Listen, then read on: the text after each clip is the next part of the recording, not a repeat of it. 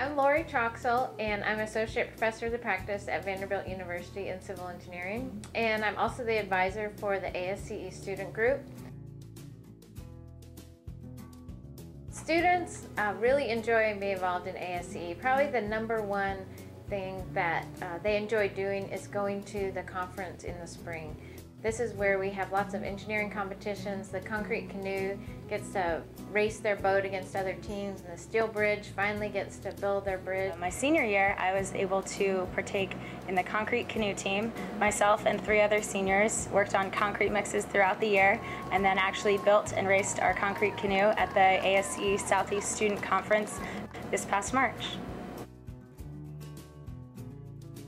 Our steel bridge team consisted of four seniors who worked every day of the year on fabricating, machining, welding, and constructing their steel bridge. And when they went to conference, they placed in the top three, so they went to nationals.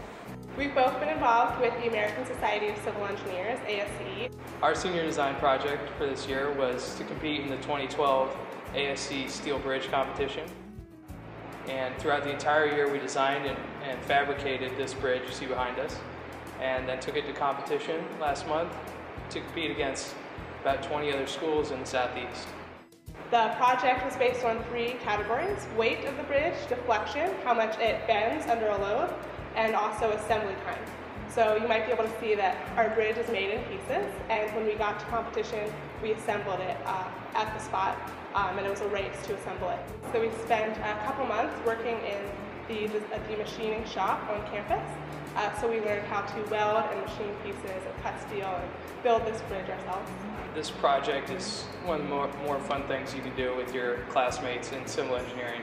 We were together uh, basically every day for the entire year, and uh, we had so much fun building and designing it.